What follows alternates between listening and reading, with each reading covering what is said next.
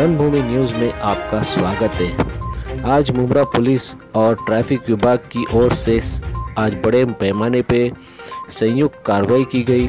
इस कार्रवाई के दौरान अवैध तरीके से रिक्शा चालकों के खिलाफ जो बगैर यूनिफॉर्म और बगैर लाइसेंस और बैच के रिक्शा चला रहे थे, उनके खिलाफ कार्रवाई की गई।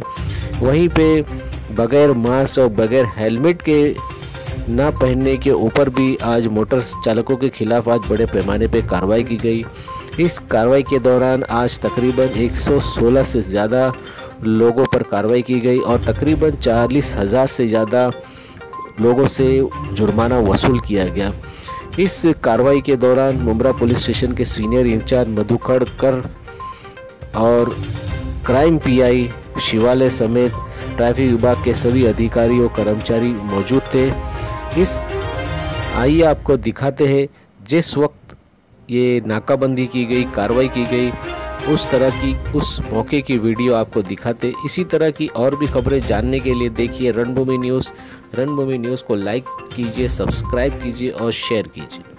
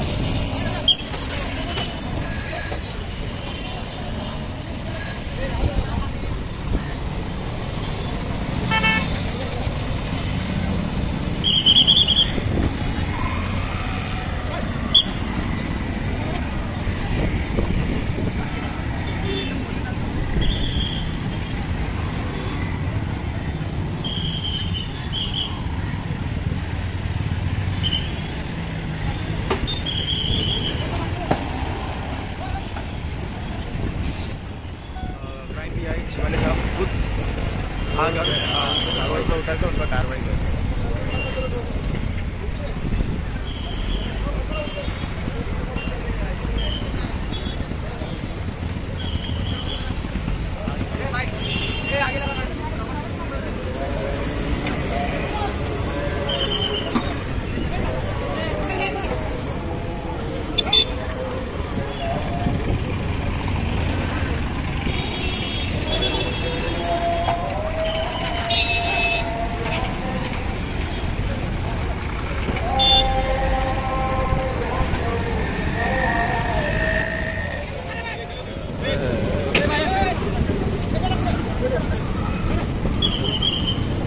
चलो चलो